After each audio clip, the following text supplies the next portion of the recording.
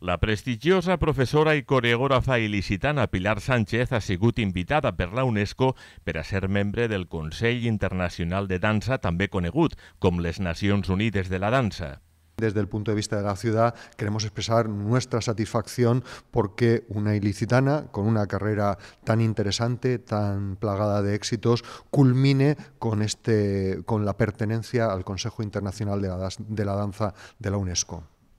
Amb esta distinció, l'Escola de Dansa, que porta el seu nom, i la Molinera Centre de Dansa i Estudis Artístics, també fundada per ella, podran atorgar al seu alumnat diplomes protegits per la UNESCO per als diferents nivells i estils de dansa. Yo no esperaba esto, es, lo estoy asimilando, pero como comprenderás ha sido una alegría muy grande porque me llamaron desde París el presidente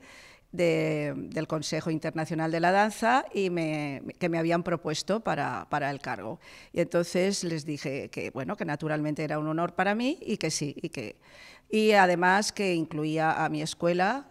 también como miembro del Consejo Internacional de la Danza. Pilar Sánchez va realitzar la seva formació en l'Institut de Teatre i va formar part del ballet del Liceu de Barcelona. Va ser la primera espanyola que va obtindre el grau superior de dansa clàssica de l'Associació Francesa de Mestres de Dansa i celebra enguany el 55 aniversari de la seva escola.